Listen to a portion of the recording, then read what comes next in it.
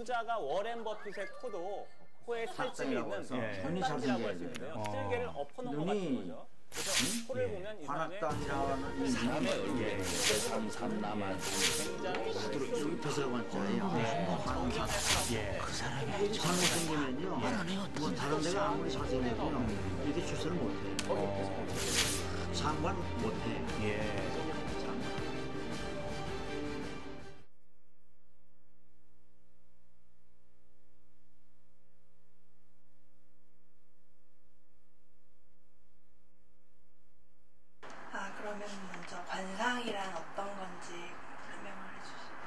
관상이란 자체는 이게 제가 연구한 바로는 어머니 뱃속에 딱 점 찍을 적에 그때 얘는 어떻게 살으라고 벌써 그때 정해진 것 같아요. 공자도 말씀하시기를 정해져야 나온다 그랬거든. 연필로 태어나든가 책으로 태어나든가 이런 식으로 정해져 나온다. 근데 연필로 태어났으면 연필로 살면 생존하지만은 책이 되려고 하면은 패망한다 그랬어요. 공자님 말씀도.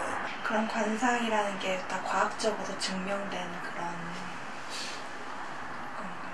과학적이라고까지는 이야기하기는 좀 내가 좀 그런데 지금까지 한 3,300년 되면서 쭉 대단한 신도들이 뭐 이장 같은 선생님도 있었지만은 연구원 바로에 의하면은 뭐 과학적이 아니냐 하는 생각도 들어갑니다. 그래서 이제 관상 자체가 이제 눈썹 위로가 초년, 여기가 코 이렇게까지는 중년, 여기 이제 코 밑으로 말년을 이야기 하거든요.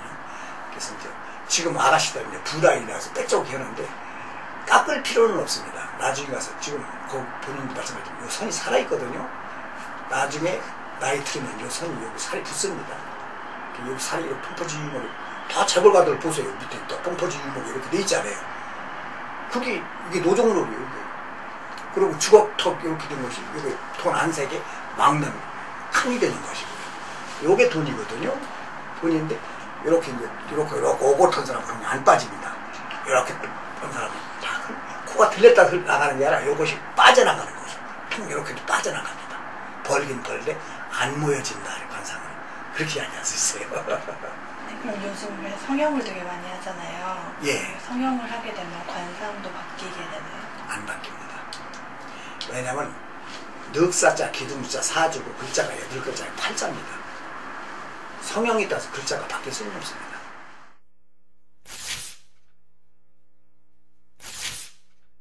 네, 안녕하세요. 예. 성함이 어떻게 되시죠? 김희상이요. 김희상 네, 생년월일 94년 94년 12월 12월 28일이요.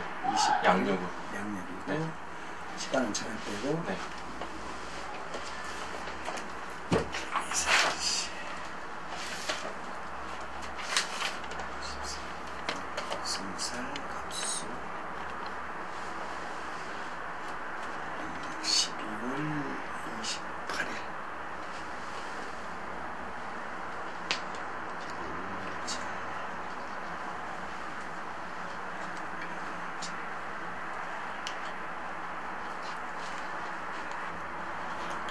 연월일 시에서 늑사자 기둥주자 네. 사주고 네. 글자가 여덟 글자 팔자입니다. 네. 어, 귀신 속에도 귀신 사주 팔자는 무슨 것이 이게 팔자거든요.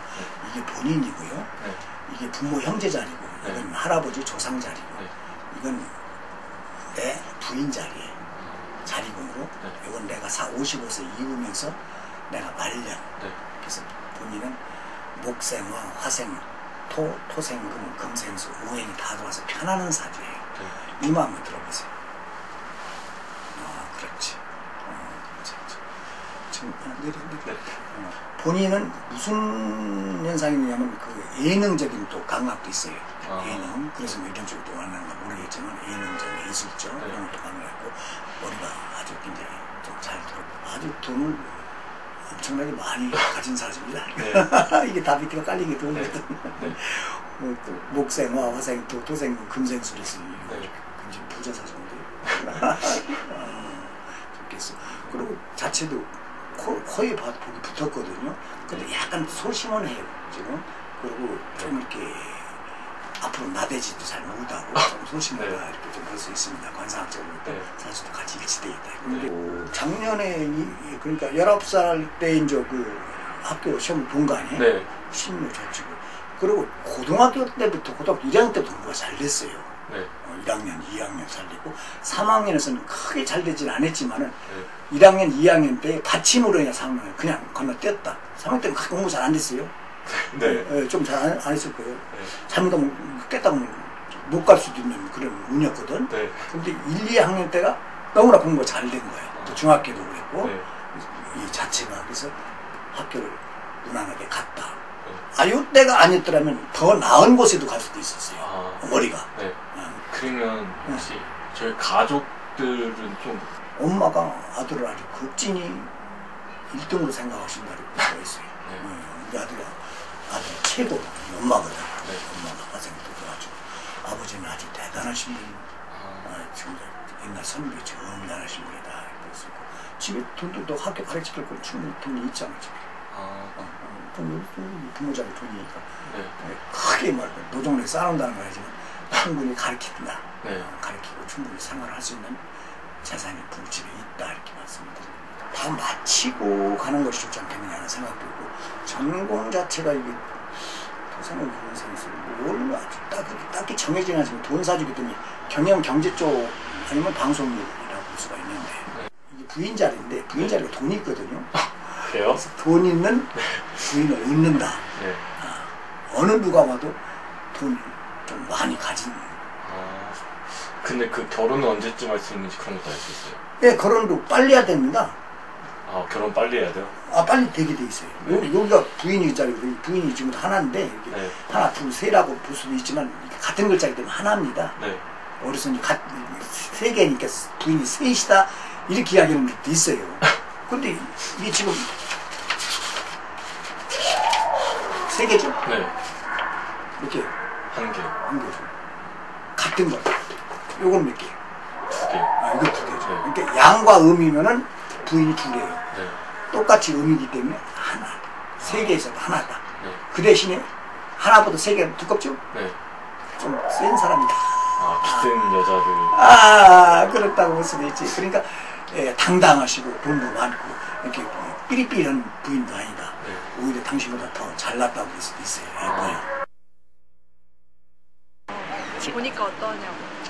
어, 우선 제 관상이 좋게 나와서 나름 만족스럽긴 했는데 뭔가 좀 뻔한 소리를 많이 한 것 같아요. 커서 잘 될 것이다 이런 좀 막연한 거?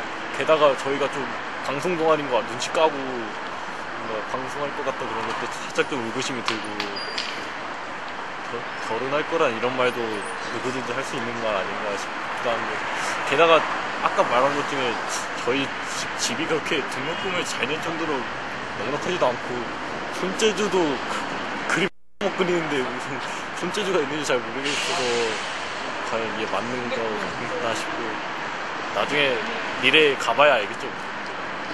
사람들이 관상을 왜 보러 오는 것 같아요? 그냥 불안해 서겠죠. 솔직히 잘 되고 있는 사람 관상 이런 거안 보고 좀 어려운 사람이 좀 힘들고 하니까 와서 어떻게 했으면 좋겠냐 이런 식으로 물어보는 게 아닐까 싶습니다. 좋았습니다. 수고하셨습니다